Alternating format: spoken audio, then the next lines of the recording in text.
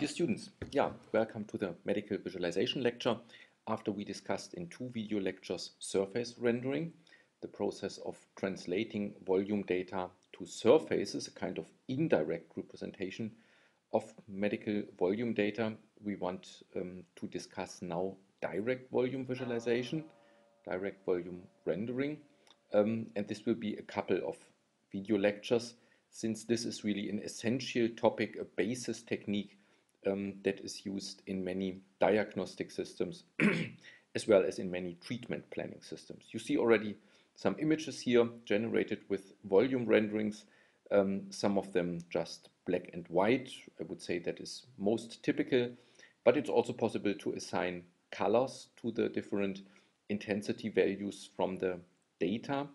Um, you often see skeletal structures in volume rendered images. Most of them are generated based on CT data with their standardized Hounsfield scale um, and material transitions that can be clearly shown with direct volume visualization without any previous segmentation are skeletal structures.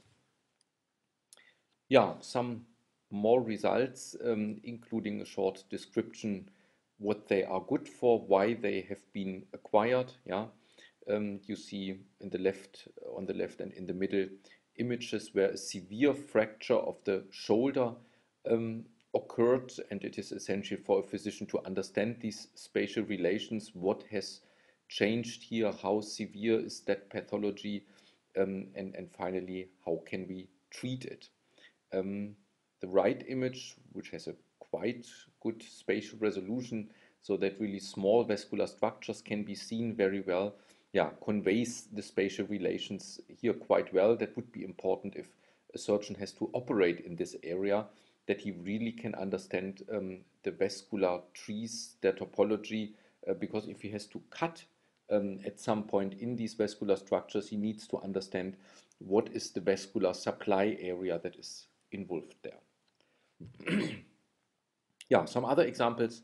Um, you see the kidney, yeah, the, the kidney is a paired organ on the left and on the right um, in this colored image here, you, you also see that um, the assignment of colors here was realized in such a way that it should resemble reality to a certain extent. Yeah, so this reddish brown color, um, what you see here at several points um, is typical for, for muscles. Yeah, the underlying data are just intensity values. Yeah, so there is no color in the data, um, but it can be assigned with an appropriate transfer function. Here we see again kidneys, and these kidneys are severely um, influenced by cysts. Yeah, a cystic kidney that loses then, of course, also um, an essential part of its function. Yeah, and here are tendons and muscles in the knee region shown with volume rendering. Yeah, so we discuss an introduction in this uh, topic, image-based procedures, texture-based procedures, um, and projection methods that are yeah, conceptually even simpler than the um, conventional direct volume rendering and serve specific purposes like displaying vascular structures. Yeah, there is a high number of, of software tools um, that provide and incorporate volume rendering. Um, Voreen 3D Slicer um, are open source solutions um, there are many integrations of scene graph approaches, like you have it in, in Unity, for example, um, with volume rendering um, and clinical workstations since approximately 20 years um, have 3D visualization components, examples, just a few, Siemens, Philips, Agfa Healthcare, Vital Images, Toshiba, General Electrics. Yeah, so that is really a standard meanwhile. While research in volume rendering was largely driven by medical applications and almost always illustrated by medical examples, that does not mean that volume rendering is restricted to such data. Um, I think a second application field that is almost as important as medicine is um, engineering, and there it is particular material testing. You also use ultrasound, CT, X-ray, for example, in order to understand whether certain material fulfills the requirements uh, is, is still correct or whether there are um, some defects that need um, require that this um, device is replaced, for example, or needs to be repaired. Yeah. Um, seismic data for the oil and gas industry is also analyzed with volume rendering. However, there is a difference in the in the way the data is acquired. That is not um, acquiring planes that are cross-sectional um, and, and equidistant, leading to regular grids. But here we have irregular grids, um, and that leads to quite different algorithmic solutions. So what we discuss in the following is focused, of course, on medical applications, but it can be easily translated to material testing applications as well. It is not so easy to translate it to the analysis of seismic volume data. Yeah, what are essential medical applications? Anatomy, of course, the family of visible human data sets yeah, that, that have such a high spatial resolution is used quite often for this purpose. Um, in radiology, um, 3D visualization techniques, volume rendering techniques are often used for the diagnosis of vascular diseases. Vessels have complex and elongated shapes and to understand them, fully assess them just based by cross-sectional images is not ideal. Um, also for the assessment of tumors, um, volume rendering may be used um, to better understand infiltrations of possible structures that are in the surrounding of the tumor. Yeah, so what are requirements? I think before discussing specific solutions, we should uh, briefly think about requirements. What do we want to have from our volume rendering system? It should provide a rendering that is really faithful and detailed. It should not make too many simplifications that risk um, that geometric detail is lost. That is actually quite obvious when volume rendered images should be used for diagnostic purposes or for therapy planning, then you need to rely um, on such visualizations. They should not be misleading by omitting something. The whole reason to use 3D visualizations at all is to better understand spatial relations and depth relations. So that means these spatial relations should be clearly recognizable. Yeah? Visual cues such as shadows, um, specular highlights, depth attenuation techniques, that all contributes to a good understanding of spatial relations. Finally, um, we want that our rendering is really fast. We do not want to wait for it. Yeah, if we rotate a volume rendered image, we do not want to see the um, cursor with the with the sandbox that tells us uh, it takes a while to process this input. Um, but we would like to have the situation where we really have the model under control. We can zoom, for example, um, and rotate and directly um, the system responds with an appropriate rendering. So if you think about these first three requirements, you may easily imagine that it is difficult to fulfill all of them simultaneously. Yeah, um, I could achieve a fast rendering if I would omit, well, let's say every second voxel in, in each direction. Yeah, then I get a coarser representation of the volume data, but I am faster. But because of this requirement, that's probably not what I should do. Um, when I integrate in the rendering process um, techniques like shadow generation, maybe even ambient occlusion, um, depth attenuation and others, then of course this makes the rendering slower. Yeah. So for the sake of fast rendering, we may think we should um, forget about all these additional techniques. Yeah. So in practice, trade-offs are necessary. For example, a trade-off in such a way that during interactive handling, indeed the visual quality is to a certain extent reduced, but as soon as the um, user releases the mouse cursor, um, then um, full resolution with additional um, depth cueing techniques is, is employed. Yeah, that could be a viable trade-off. More on the technical side, um, volume data comes in with different data types. There are 8-bit MR values, um, there are 16-bit values, so that could be different, and our volume rendering system should be able to handle a wide variety of data types and, and formats, including intensity values, color, um, and transparencies. And although volume rendering in principle works without any segmentation, ideally we could also uh, process so-called tagged volumes, which means that I have segmentation information um, in the sense that I know which voxels belong to which structure, which would enable it to adjust transfer functions selectively to certain structures to emphasize or hide them, um, which can lead to quite expressive volume renderings. Yeah, what is the, the overall process that, that is essential here? We have volume sampling, classification, shading, um, and, and finally blending where everything is composed in image space. Yeah? Um, volume samples means that we traverse the volume data, we locate certain sampling points, um, we interpolate the value at these sampling points because they will not be exactly in the middle of a voxel, that would be just by chance, um, and that gives us interpolated values at sampling positions.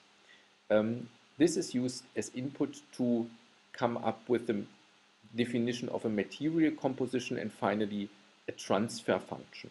Yeah? The transfer function assigns color, or in many cases only gray values, and opacity to the values that result from the interpolation. Shading comes later. With shading, um, we assume that there is a light source we compute how the volume is oriented toward this light, um, this light source, in particular for areas where we have a high gradient magnitude, obviously representing a material transition, um, we want to understand its local orientation compared to the light source and this influences how much light there arrives and is part of the gray value comp um, computation. Yeah, we have a volume rendering integral that describes this process uh, physically um, that cannot be solved directly but needs to be numerically approximated. Um, and yeah, that could be done with different techniques which we will see. We will assume that we always have data on an orthogonal grid, a regular orthogonal grid. We also assume that we have anisotropic data sets or we have to consider that in most cases we have anisotropic data sets. Uh, life would be easier if data sets would be isotropic, which would mean that the slice distance equals the distance of the pixels within one slice. Yeah, but that is typically not the case. These distances are different and they are different in such a way that the slice distance is larger than the distance in the pixels of a slice. An example would be a slice distance of 2 millimeters and an in-plane resolution of 0.5 millimeters. Yeah? So the voxels are not cubes, but um, they are long in one direction and smaller in the others. When we do not consider this, we, we stretch the visualization in the volume rendering process, um, and then it looks yeah, quite disturbing and unnatural. Yeah, how many data do we have? What, what should we take into account? Um, the size of the data sets does not grow so strongly. Yeah, 10 years before, 15 years before, that was basically the same. It's not that this doubles every two years or so. Yeah, we still have mostly 512 times 512 pixels per slice or layer. Um, we may have yeah, as few as 80 layers if we have whole body imaging with high resolution, we may end up with 2000 layers, but that is still raw. Yeah? We may have 16 bits per layer, so that leads to a gigavoxel that needs to be rendered. Yeah, with, with high resolution multi-slice CTs, we may also have a million pixels per slice and um, yeah, maybe even with a slightly higher number of um, layers leading up to a maximum of 5 gigavoxels. Yeah, we should not expect more.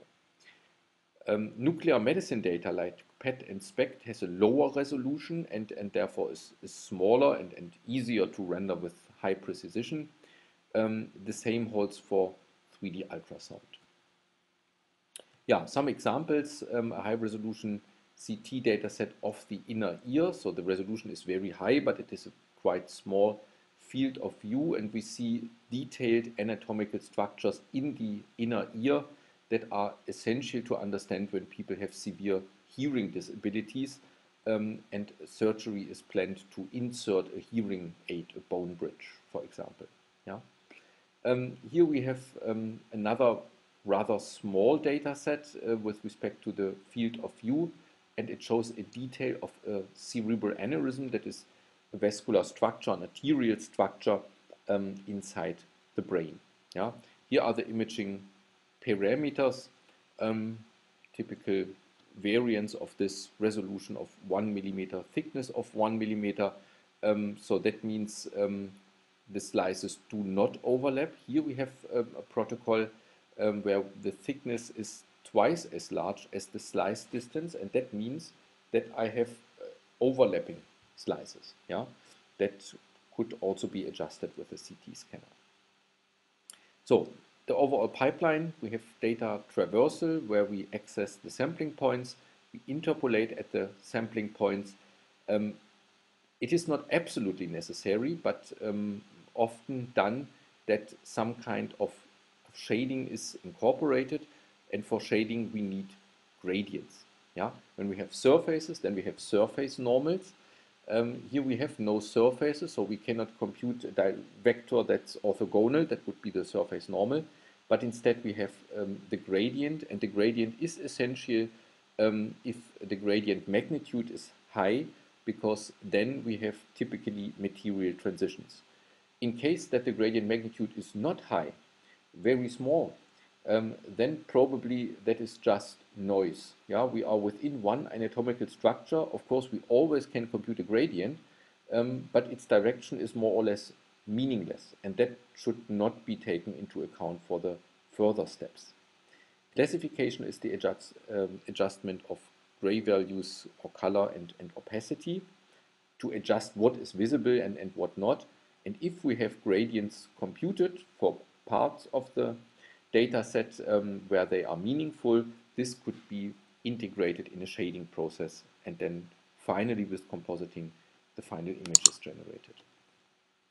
Yeah, we have three basic families of techniques how we can access the sampling points. There could be ray casting. Um, that is an image-based technique. So we follow rays in the volume, yeah, equidistant rays. Um, so we collect the sampling points from front to back in this process. Texture slicing is, is an alternative where instead of individual rays, um, we compute planes, um, ideally parallel to the viewport, and we slice the volume with these parallel planes, um, interpolate values um, at the pixels representing these planes, um, and blend them together. Yeah, so we blend the slices um, front to back together. this is an alternative to ray casting, which is motivated by the availability of a very powerful hardware support for texture mapping. Yeah? So basically we map the volume data to these slices as if it would be a texture. And there is trilinear interpolation available. So basically the steps that need to be carried out in texture slicing can be supported very well by the graphics hardware. The third group of techniques has lost a bit of its importance, that is splatting, or one could also say object-oriented techniques. Um, the advantage of them is that the sampling points are quite close to each other in physical memory. So therefore the likelihood is very high that if I fetch a certain region in the cache, and the cache has a very high access speed, um, then I will have also the next points that I need in the cache. That would not hold for, for raycasting, for example. Yeah, um, And another advantage of, of these splatting techniques is that points that are close to each other in object space often have similar intensity values and similar gradients and this enables um, some simplifications and accelerations that you would not have with, with raycasting, for example. However, since raycasting meanwhile can also be supported very well by graphics hardware, um, the argument that splatting is faster because we have the data in the in the cache that has lost its its importance. Yeah. So in practice, the dominant approach meanwhile is raycasting, GPU-based raycasting. So, but before we discuss, let's have a look at the volume rendering equation, or at least a simplified version of the volume rendering equation as it is often used in practice. Yeah. Um, it is simplified in the sense that we do not consider shadow, yeah, which is important but makes the computational effort considerably higher, and diffusion processes. Yeah. Um, so what is considered um, primarily the emission of light from, from a light source um, and, and reflection. The intensity um, in the final image at a pixel x um, with light coming from direction r is computed here and this computation is dependent on the wavelength lambda. That means the optical properties are not exactly the same for all colors in the visible spectrum, but it depends on the wavelength. This dependence is not so strong, so therefore this is simplified often in the way um, that we make this computation for, for example, three different wavelengths only, yeah, for red, green, and, and blue. Um, so we have our pixel x, and we have many directions from which light may arrive, um, and for all these uh, directions, we um, have this volume rendering integral, which is an integral over the way to the light source. Um, here we have um, the light of a certain wavelength that is either reflected or emitted um, from a point S. Yeah, and we iterate over this whole path, the whole length. Then we have an exponent um, an exponential function with a negative exponent, that means that models a decay. Yeah, something gets um, close to zero quite quite fast, and this is another integral starting at this point s. Yeah, so this s and this s is the same, um, and here we have the optical density of the material alpha t, and that is different uh, depending on the values that I have. Think of the medical example the optical density in bones would be very high, which means that after um, a small um, slice of, of bones, basically everything behind is occluded. And it's not necessary to compute anything that's farther back, back because that's occluded anyway and thus cannot contribute to the image. On the other hand, if I am within the lung, for example, where I have air, air has a very low um, spatial density, um, optical density, which means I can look through it. Um, so I should compute many layers of air and then look what, what comes after this because that still will be visible. Yeah. So that's the volume rendering equation. And volume rendering uh, means that we have to somehow solve this equation. Um, and as you may imagine, if you look at these two integrals, that is nothing that can be analytically solved um, easily. Um, and uh, so you need a kind of numerical approximation, simplification of this. Um, that is what can be computed. Yeah. So you may remember from school when you want to determine a limited integral, yeah, where you have a lower bound and an upper bound, that basically means that you compute an area under a curve and you can approximate an area under the curve by summing up over small individual contributions. So typically you will have a constant step size, that's here this delta t. Um, so you compute um, the volume not all at once for the, for the whole interval, but for these individual components. So the question is, what are you doing for these individual components?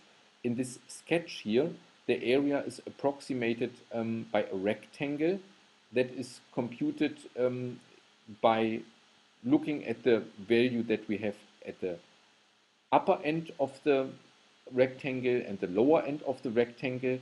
These are two perhaps slightly different values and we just take the average and that is the height of our rectangle. Yeah, That would be the coarsest approximation.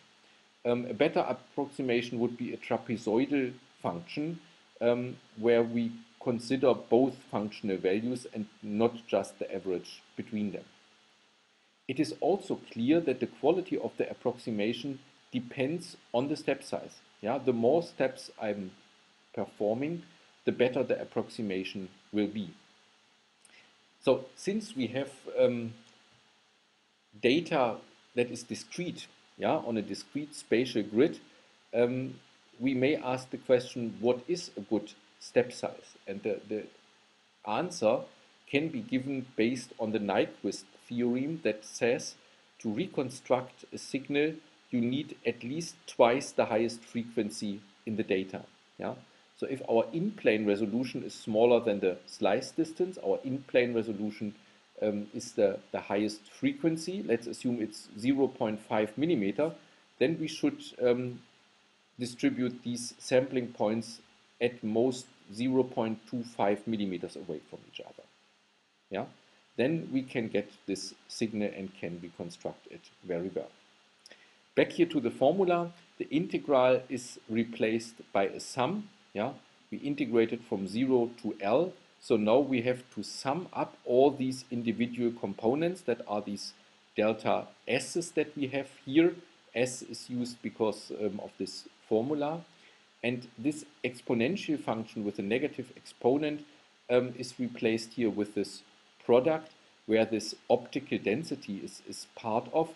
Um, and that product, um, yeah, soon gets very high values, which means that the remaining visibility may be very low. Yeah? If the optical density is not very small, like in air, um, if we have soft tissues or even hard tissue structures, then we only have to look um, at a few slices and not further because the remaining visibility is can be neglected.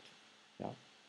Um, so C lambda at SE, that will be the color or intensity gray value at this point um, and alpha from SE, what you see here, um, that is the opacity at this point. And the product um, characterizes the remaining visibility, Restsichtbarkeit in, in Germany. In German. Yeah, raycasting. We have um, an eye position that is our virtual camera from which we see the image. Uh, we have an image plane on which we want to project the data and then we cast rays in the data with a sufficient high density. We, we talked a bit about these sampling positions. Um, and at these sampling points, we, we interpolate, we get the right value, assign a transfer function, um, and then blend these points in from back to front so that for one ray, one pixel in the image arises. Yeah. Typically, we have an image plane with a certain resolution, let's say 800 times 600, and we compute exactly one ray for one pixel. Yeah, It does not help so much to compute four rays for a pixel and then somehow to average. Uh, that, that does not lead to a strong improvement, but of course to a strong um, additional computational effort. Yeah, so interpolation. That could be done with, with various kernels. Yeah. Um, the simplest one would be a nearest neighbor interpolation, which means if I am at a certain sampling point, I'm looking for the closest center of a voxel and say, well, I assume that my value at the sampling point corresponds to this nearest value, my nearest neighbor. Yeah.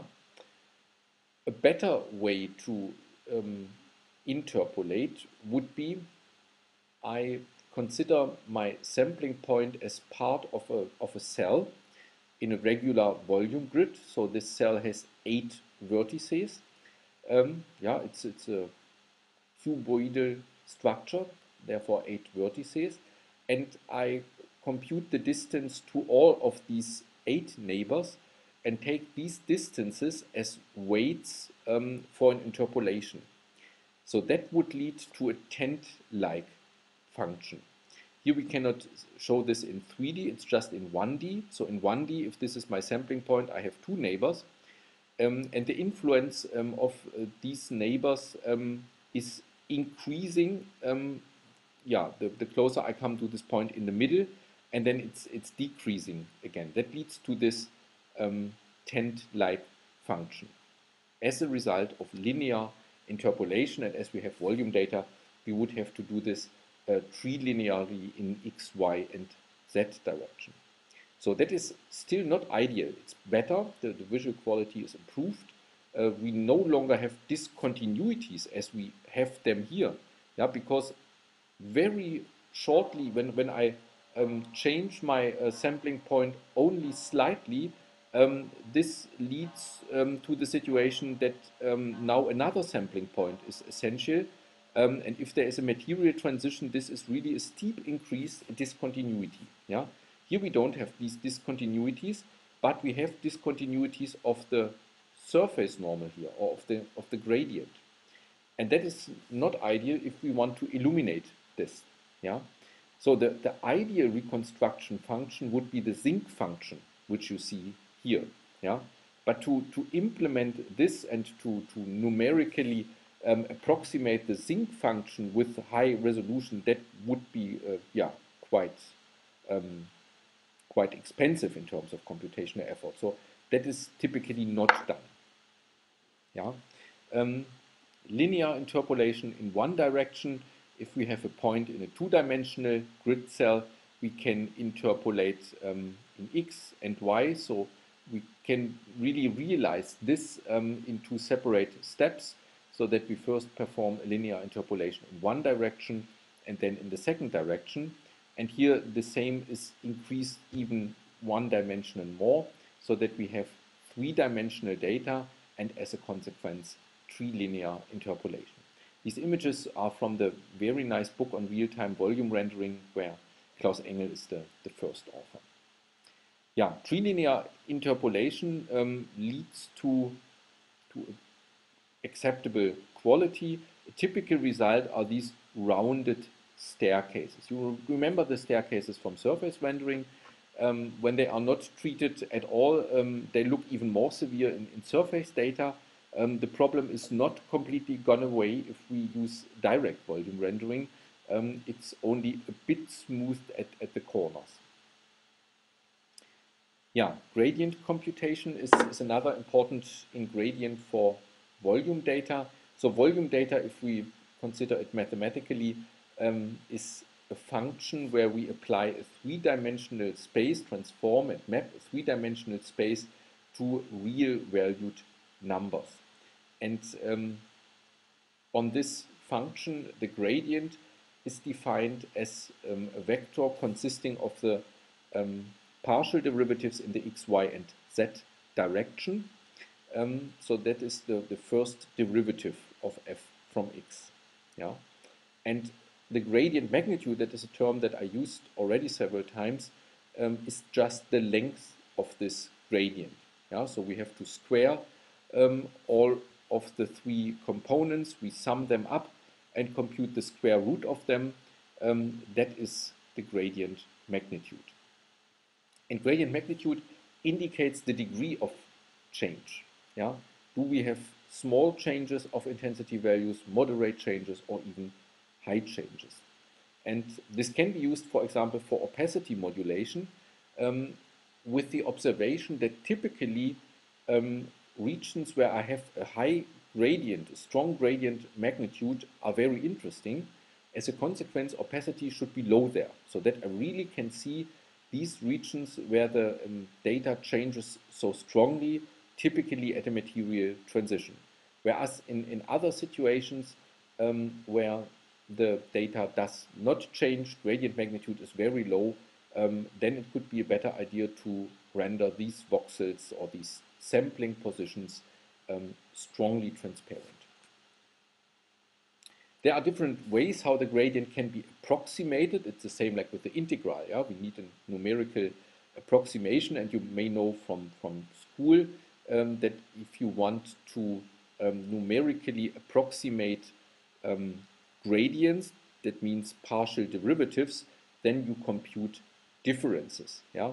If the interval in which you compute a difference is very small, um, then at, at some point the difference equals the derivative. Yeah?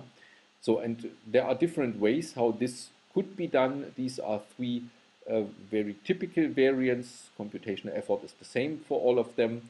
So from my sampling point x, y, and z, I may look um, at the neighbors in both directions, so using plus 1 and minus 1, computing the differences to the two neighbors, um, and then dividing this by, by 2.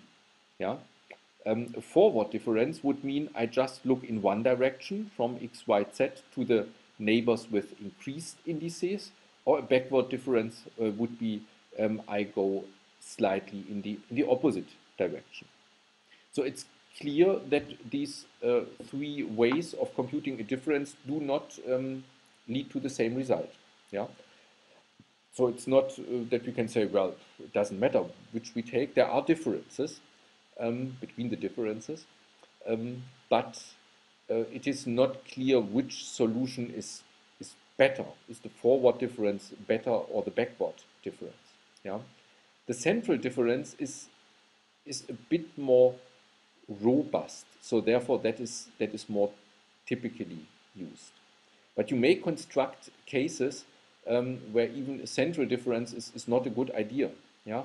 Imagine you have a very thin structure that is represented by um, one voxel only. Yeah. And then you look forward and backward in both directions. Um, so you have completely different values, but you do not take the value x, y, z that belongs to the linear small structure into account. Yeah. So for very thin structures, that, that could be quite misleading. Yeah. But at the end, um, volume rendering should not be too complex. You don't worry about these um, special cases that, that may happen. Typically, the central difference is used for gradient computation. Yeah, then we have um, classification, which means um, that we apply um, a function to the interpolated data um, and define this way optical properties that could be anything that could be also shininess or, or whatever yeah um, for photorealistic rendering but in practice it's gray values um, or color and opacity in order to ease the process of assigning transfer functions for for a physician that is not a specialist in knowing the details of volume rendering there are presets yeah for example, um, how to show the lungs in a thorax CT dataset or how to see the bones in thorax CT datasets.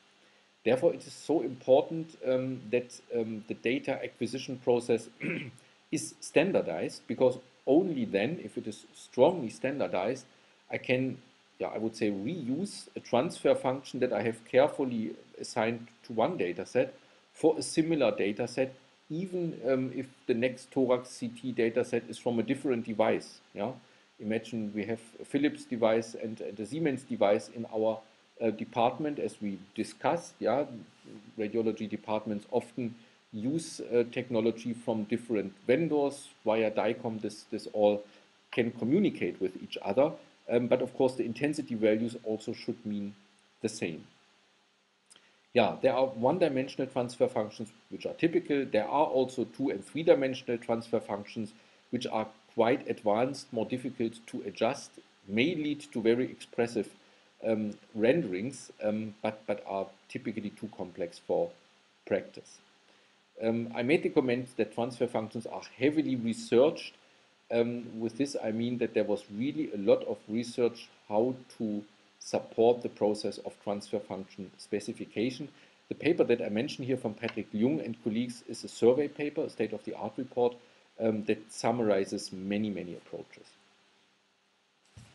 Yeah, setting of transfer functions um, for gray values and opacity typically is simplified by providing linear functions as you see here.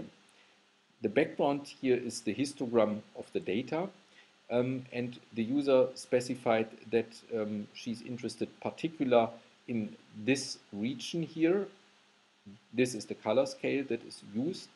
And here you see the result. And she's also interested in the second part of the data, namely a very part of the, the histogram where the values are quite high.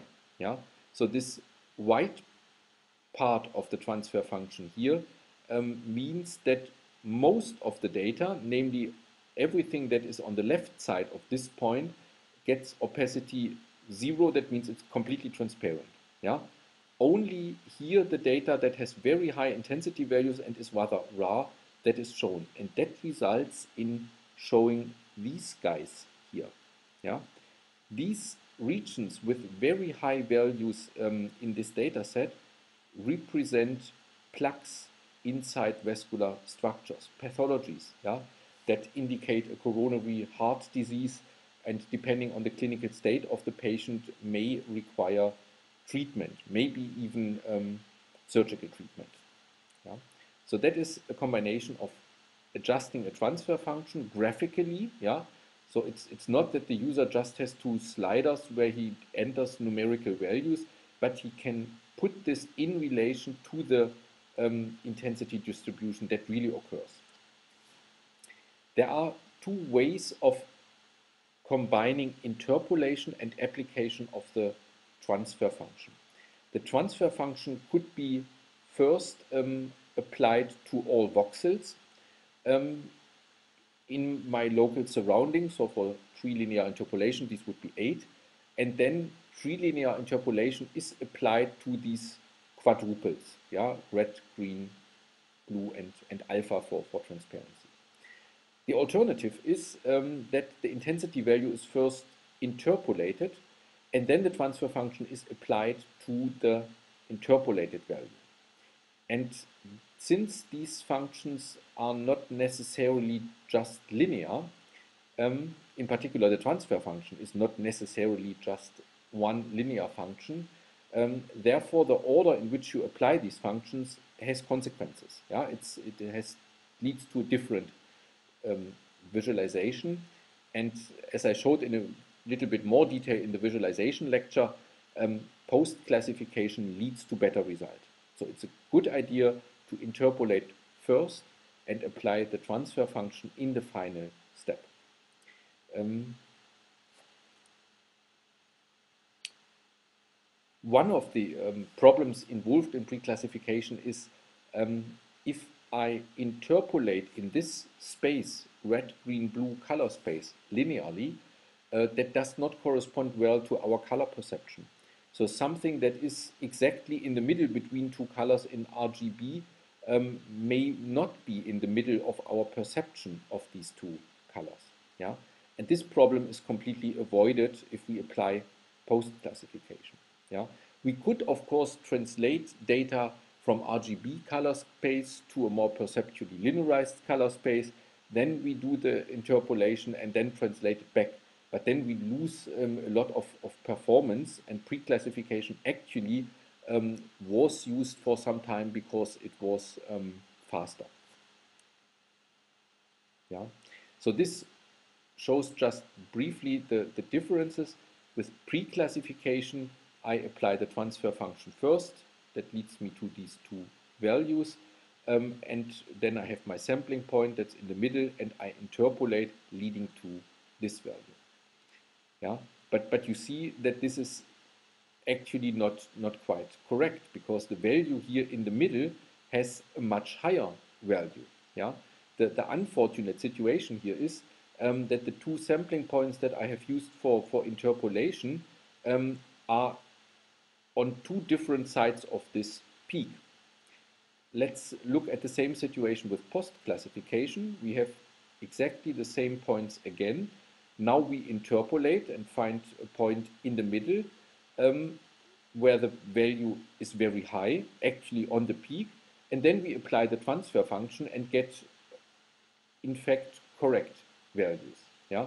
So that is the situation when pre-classification really leads to strong problems if there is a peak of the transfer function in, in between.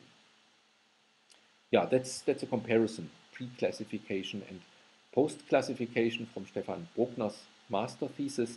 Yeah, and you see also these slight staircasing artifacts that occur here and that can be avoided with post-classification. yeah, we, we have some ambiguity in volume data that we must um, acknowledge and um, understand. If you have a certain intensity value, let's assume we are still in CT data, a certain Hounsfield value, this may be um, due to the fact that this whole voxel, one square, uh, one um, millimeter in all directions, for example, belongs to one tissue type, and then it represents this tissue type. But there may be also a material transition or even several material transitions within that voxel. Um, and then it is a mixture of these individual components. Yeah, That's the so-called partial volume effect. The partial volume effect uh, is more severe if the spatial resolution of our data is lower. Then we have a higher portion of voxels with material transitions. Um, but even if with a very high spatial resolution, this problem does not go away. Yeah? Um, and we will see in a, in a, minute with an example what may happen if this is not considered. Yeah? Ideally, um, volume data should be transformed in something that was called material percentage volume, where for each voxel um, there is um, an assignment or specification to which materials it belongs with a certain percentage. Yeah, so this is 30% bone and 70% muscle would be an entry for a material, material percentage volume. So that is difficult to achieve and indeed you must know a lot about the material types that, that may occur in a particular region and their intensity range. Yeah? So if this is a histogram of the data, yeah, an interesting histogram with three local peaks, yeah, um, and you understand this region, then you may model this with a so-called Gaussian mixture model. So you try to fit to this histogram a set of Gaussian function um, with an average value and a standard deviation. These are the two um, parameters that are optimized to get an ideal fit. Um, and you may know that, that you have four uh, different materials in this region and uh, then you could even label them and uh, yeah could could see the contribution of the individual components yeah and that leads to material assignment so if I have very low values that is completely air without any partial volume effect if I get higher values then I have um, material transitions between air and, and fat so here we have a certain um, partial volume effect. Then we have a small region um, where we are quite sure with this intensity value it can only be fatty structure. Yeah? Another partial volume area, so the transition between fat and soft tissue, and another one between soft tissue and, and bone. Yeah? So that would be this idea of using previous knowledge about um, the material types that occur at least frequently if the data, if there would be individual voxels that belong to a nerve, for example, uh, that has not a strong consequence of the, for the whole histogram. Yeah? This idea, by the way, is, is quite old. It's um, from one of the earliest papers on volume rendering at, at all from Drebin. Yeah, if um, partial volume effects are not considered appropriately, meaning that we do not know um, whether something is part of one material or, or a mixture, um, then things like this can happen. Yeah, um, that's a quite nice publication from Anders Ynnerman's group um, that shows that we need to be aware of boundaries um, and apply even a higher spatial resolution there in the sampling process um, and avoid that we consider voxels that are actually mixtures of bones and vascular structures um, as, yeah, we, we do not treat them properly. Yeah, then we smear out the smaller vascular structures over the, the bony surface. Yeah, let's um, discussed this model a little bit. That's not too bad, but it, it's still not ideal for all situations. Um, it considers only transitions between two materials in one voxel. Yeah, similar like the marching cubes algorithm that we discussed also assumes that we have only transitions between two materials. Yeah, in practice, there could be more. Um, but even with my a priori knowledge about the intensity range of structures, if I would have to consider, let's assume, three materials, I cannot unambiguously compute which contribution the three materials have. Yeah? There are many ways um, how a certain intensity value may have arisen based on more than two materials. Yeah? Yeah, we could, of course, um, use derived and further information like gradient magnitude and, and curvature to understand whether we have a material transition. Yeah. Um, also, we could have segmentation information, in particular in radiation treatment planning. The data is really segmented, um, both the pathology as well as the risk structures, um, to compute for all these different structures um, the radiation distribution um, so if this segmentation information is available, then we can use it to come up with proper renderings that considers these boundaries well um, and therefore also can prevent this smearing effect that we have seen with the vascular structures. I want to make you aware of the fact that uh, slight changes of the transfer function or similarly slight changes of an ISO value with surface rendering may have quite severe consequences for the rendered images. Pathologies may occur or may be hidden with this. Yeah? Um, a nice paper from Claes Lundström and others, that's again the, the group from Anders Ynnerman, um, showed this and uh, came up with a very good solution for this. So what you see here is a vascular structure that seems to be quite narrowed where it is strongly curved. If as a radiologist, I would take this for a serious and faithful representation of the anatomy. I must suppose that there is a severe stenosis. Yeah? But there are some artifacts in particular in, in these highly curved areas. If I only slightly change the transfer function, I still see the vessel very well. It gets a bit larger everywhere, but now there is no discontinuity here anymore. The diameter is not smaller. There is no stenosis. Yeah. So in fact, there was no stenosis. Um, so not this represents the truth, but this. Actually, um, the recommendation for physicians is um, try to adjust the parameters of the transfer function slightly and only if in all these settings a stenotic region occurs, then there probably really is one.